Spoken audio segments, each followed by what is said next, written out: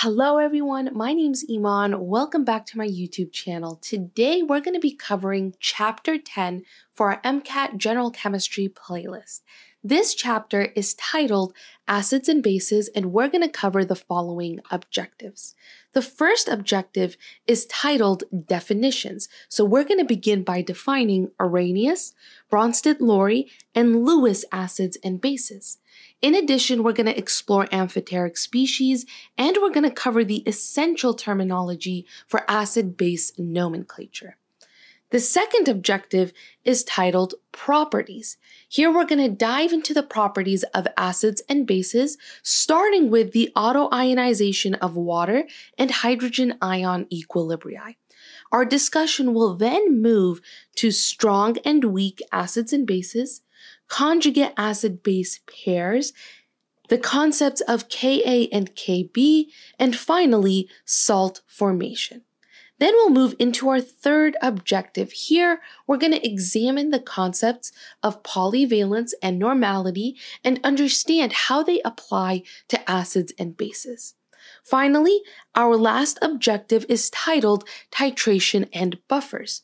We're going to study titrations involving strong acid, strong base, weak acid, strong base, strong acid, weak base, and weak acid, weak base interactions. We'll also explore titrations involving polyvalent acids and bases. And then this chapter will conclude with an in depth look at buffers and the Henderson Hasselbalch equation. With this introduction, let's go ahead and get started with the first objective. Over the past century, chemists have developed three definitions to classify compounds as acids or as bases, and each subsequent definition has become more inclusive than the previous one. We're going to start with the Arrhenius definition. An Arrhenius acid is a compound that, when added to water, dissociates to produce hydrogen ions. Now, these hydrogen ions often are associated with water molecules to form hydronium ions, H3O+. Now here we see the general equation for an Arrhenius acid. HA represents the Arrhenius acid, which dissociates in water to yield hydronium ions, and A minus, where A minus is the conjugate base of the acid. Now, this process increases the concentration of hydrogen ions in the solution. What about an Arrhenius base? An Arrhenius base is a compound that, when dissolved in water, dissociates to produce hydroxide ions. Now, here we can see the general equation for an Arrhenius base. B represents the Arrhenius base, which dissociates in water to yield hydroxide ions, and Hb+, plus, where Hb plus is the conjugate acid of the base.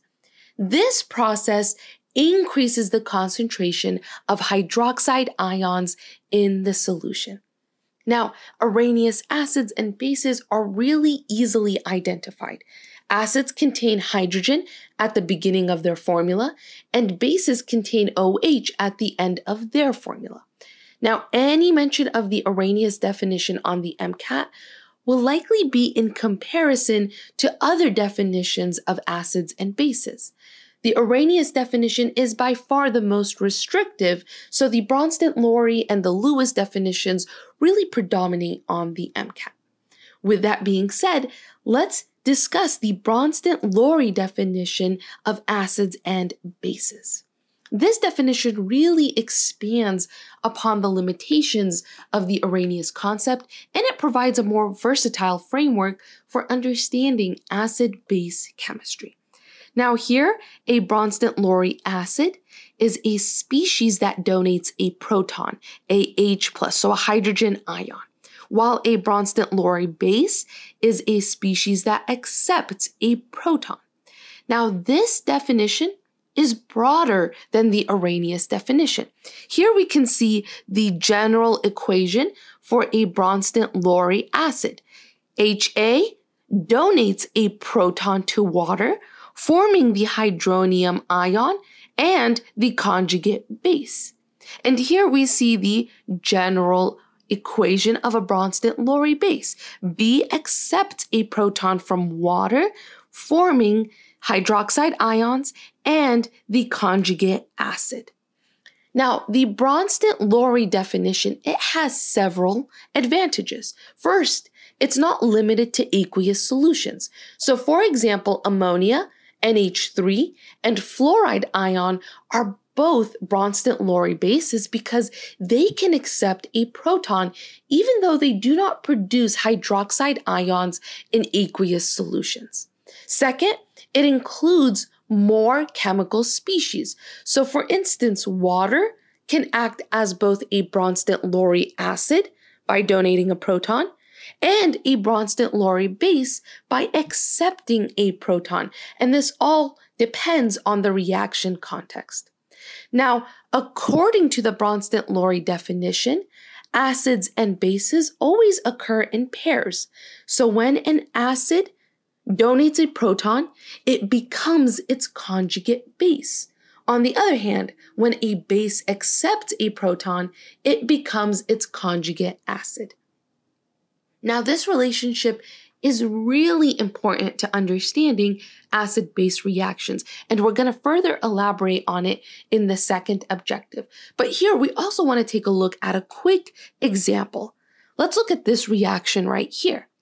In this autoionization of water, one water molecule acts as a Bronsted-Lowry acid and donates a proton, and the other acts as a Bronsted-Lowry base and accepts a proton.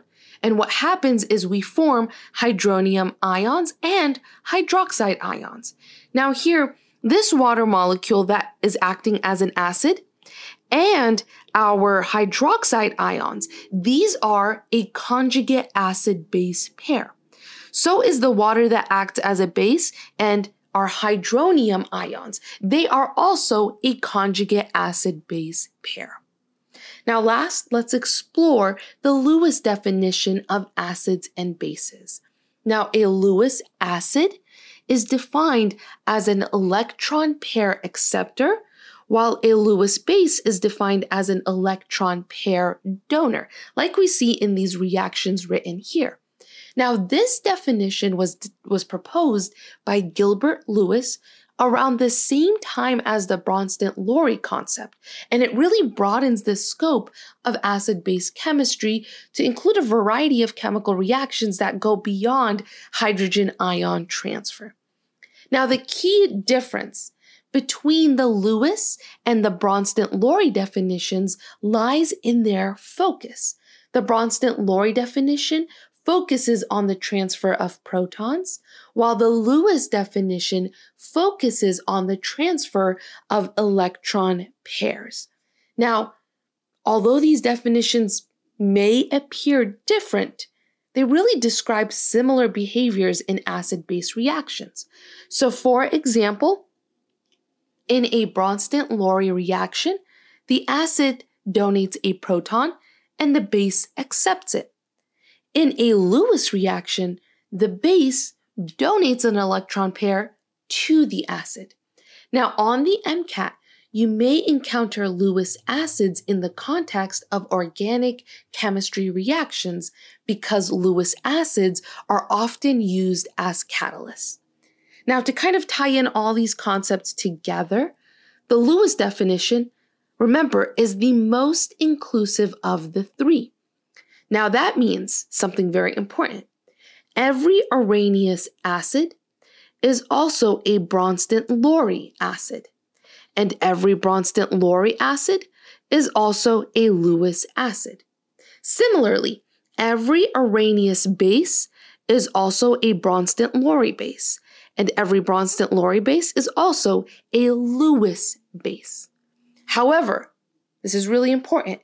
Not all Lewis acids and bases can be classified under the Arrhenius or the Bronsted-Lowry definitions, and this inclusivity allows the Lewis definition to really cover a broader range of reactions, including those that do not involve hydrogen ions directly. Now, with that, Let's discuss amphoteric species.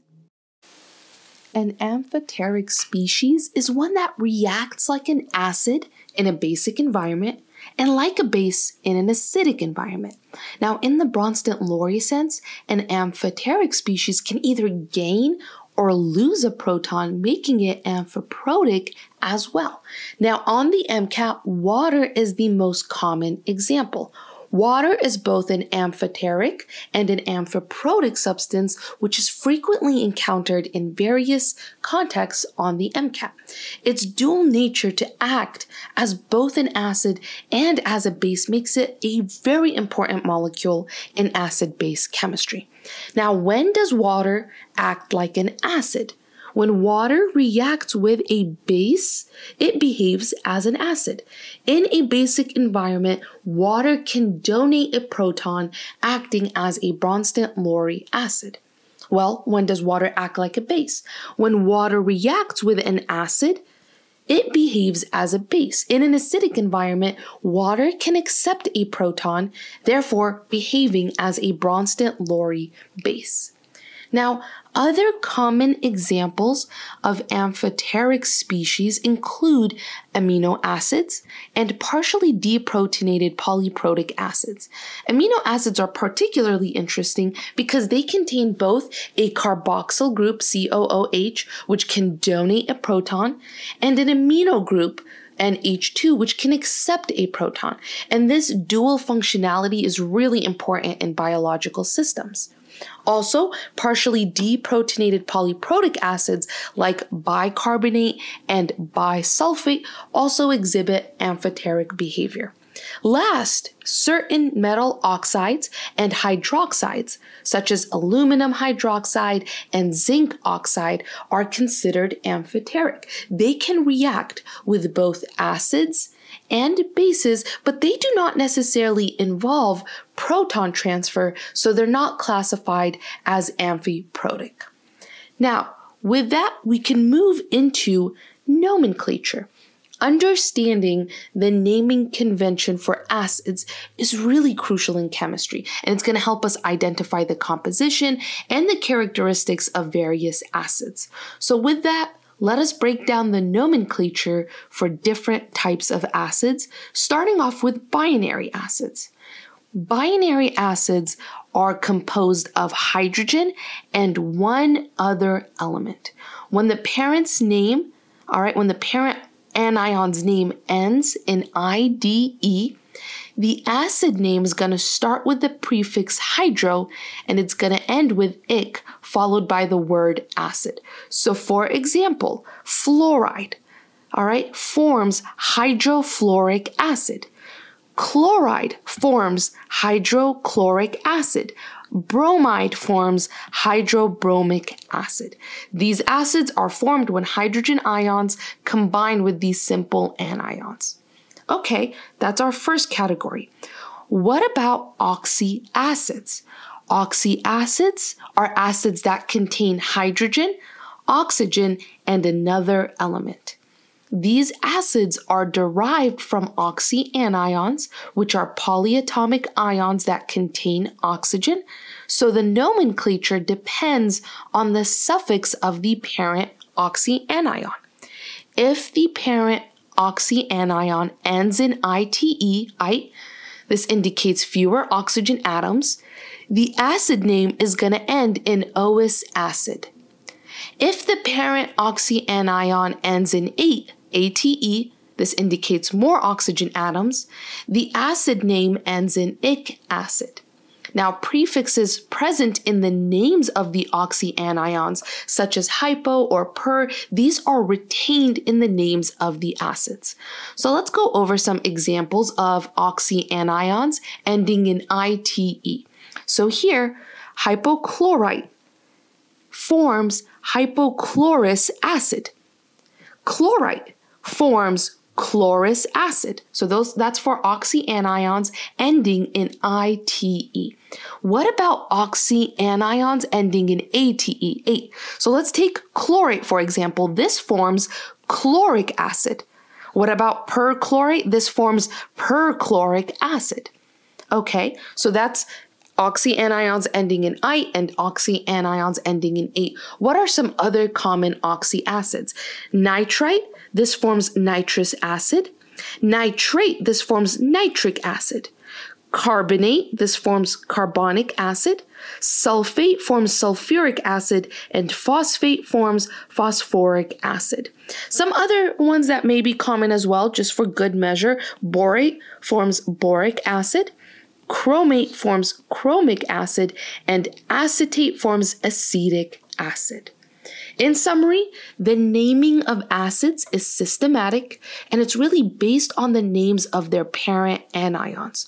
Remember, for binary acids, use the prefix hydro and the suffix ic. And for oxy acids, use the suffixes OS and IC depending on the number of oxygen atoms in the oxy anion. Also, remember that the prefixes present in the names of oxy anions are retained in the names of the acids. With that, we've completed our first objective. We're going to end this video here. In the next video, we're going to continue with objective two. I hope this was helpful. Please let me know if you have any questions, comments, or concerns down below. Other than that, good luck, happy studying, and have a beautiful, beautiful day, future doctors.